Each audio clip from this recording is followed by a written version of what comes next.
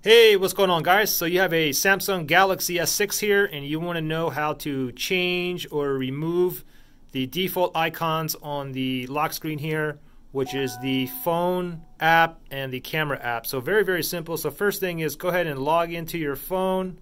Then you want to go into your settings, top right hand side, you can go ahead and scroll down and then we can go right into the settings.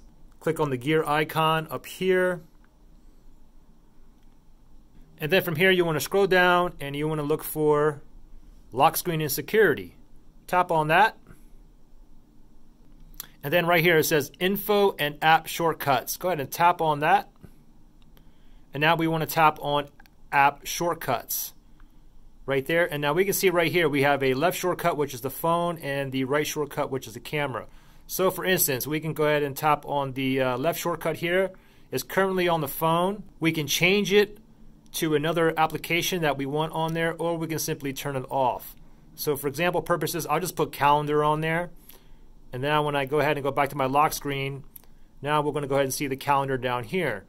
Now let's just go ahead and move this camera app over here, okay? So just go ahead and log back into your phone.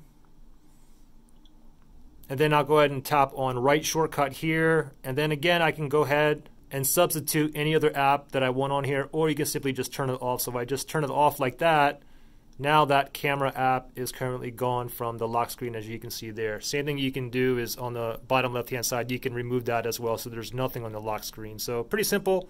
I hope that helped you guys out. Thanks for watching, guys, and I'll see you in the next one.